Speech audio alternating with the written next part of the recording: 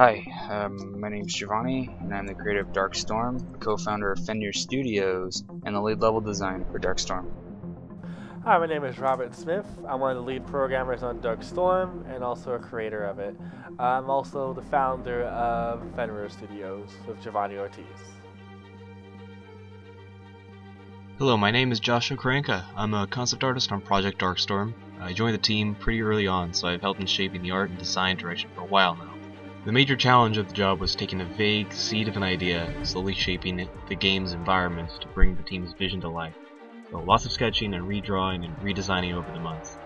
Now with a much larger team of artists, we're making much more progress, and the final product is turning out to be much more polished and well designed.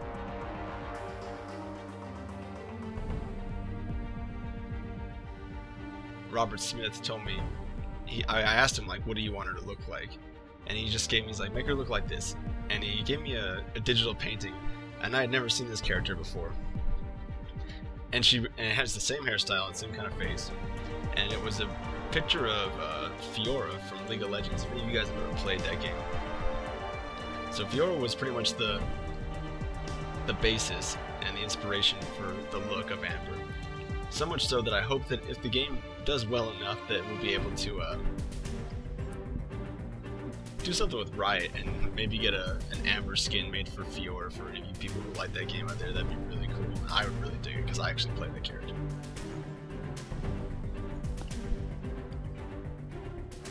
Keep generating interest in the game and the universe. If you haven't listened to of dramas, we're still making more of those. It's been a while since we've updated one, but we're gonna put another one out. And yeah, and there she is all together. I wasn't able to finish because this new software wasn't what I would hope to be, but yeah, there she is. Thanks for watching. Bye.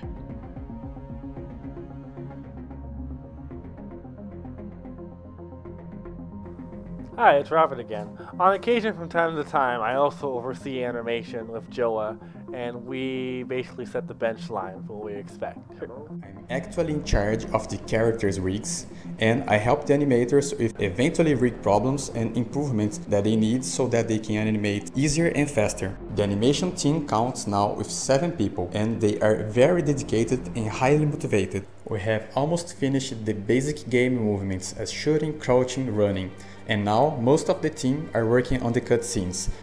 I'm here, Jill. And some of those are getting incredible. It's so cool to see the amazing characters and weapons that modeling department had produced to get alive by the hands of these talented animators. We all hope that pretty soon you guys that support Darkstorm can see that too. What's going on here? What's with the lights? This transmission has ended.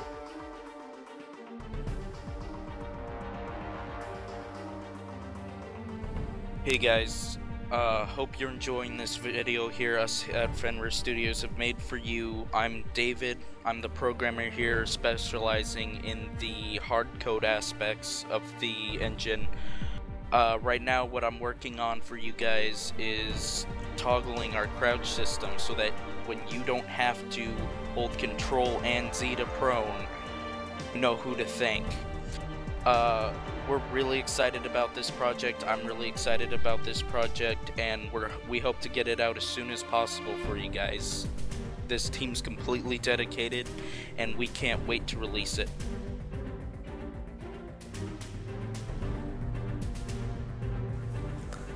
Hi guys, my name is Sonny and I'm a level designer for Fenrir Studios and I'm responsible for building a certain area within Darkstorm. A little background on me is that I was fortunate enough to work on Mass Effect 3 while working as QA at Bioware, and my experience there has really opened up my eyes on how video games are created, especially the progress of levels.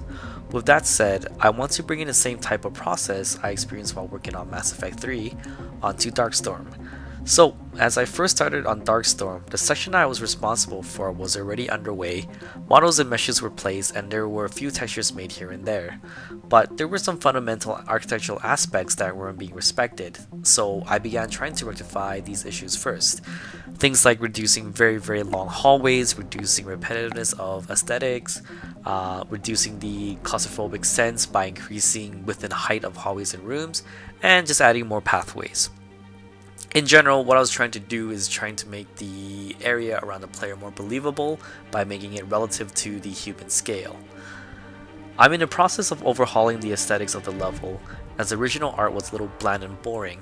So what that means is I'm collaborating with the concept artists and modelers to ensure parts within the concept art are transitioned into models and that models are transitioned into the game.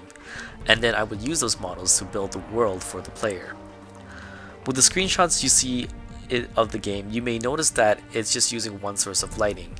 Eventually, when all required models uh, are made and textured, lighting will essentially be the last piece of the puzzle and will significantly bump up the quality of how the levels will look. So that's the gist of what I've done and what I'm doing now. Hope you guys look forward to seeing what the levels uh, will look like in the future when it's all polished up. And thanks for tuning in. Darkstorm's been, you know, pretty much in production for a while now. Uh, the idea for Darkstorm has been around for a few years, but when we actually started creating it, you know, we started last year, but there was time, you know, time issues with all of us where we couldn't fully commit to the project, so we, you know, scrapped it. Then we decided earlier this year, January, we decided, you know, we want to start this up again. We started, you know, getting a lot done, but the thing is, it wasn't going out as a the pace like we wanted it, you know, because since we're such a small team, there was only so much we can do, and there really wasn't much progress. Having to work with this team, you know, for pretty much a year now. I feel like it's an honor, you know, working with these guys. Every single person on this team is very talented. You know, sometimes I question how the hell did we, we get so lucky to have, you know, really good people like these guys are. So I'm really proud of these guys working very hard every day. So good job everyone.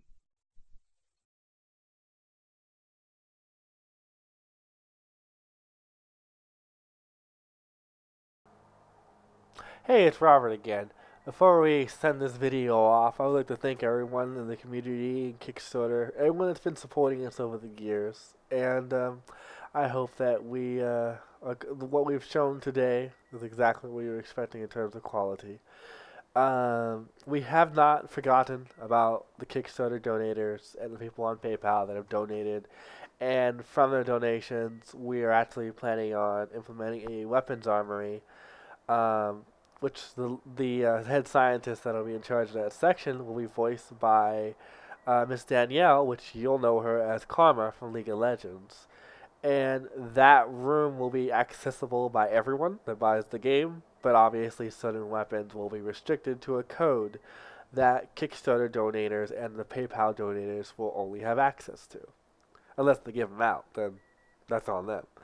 Anyway, um, thank you for watching.